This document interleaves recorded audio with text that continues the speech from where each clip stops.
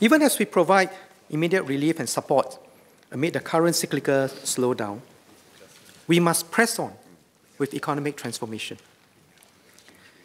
The global economic landscape is changing, and our challenges are pressing. We have a narrow window. We must find every opportunity to transform, to emerge stronger in the coming years.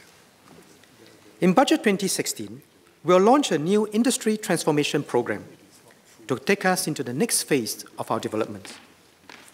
This builds on our efforts under the Quality Growth Program, which was introduced in Budget 2013 to achieve inclusive growth driven by innovation and higher productivity.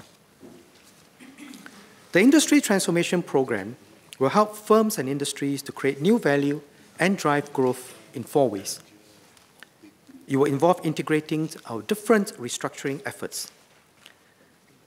Our efforts to raise productivity, develop our people, and drive research and innovation are working. But we can maximize the impact by pulling this together. Second, we will take a more targeted and sector-focused approach to better meet the needs of firms in each sector. Third, we'll deepen partnerships between government, workers, and the industry, and among industry players to identify challenges and develop solutions to support transformation. And fourth, we'll place a stronger emphasis on technology adoption and innovation.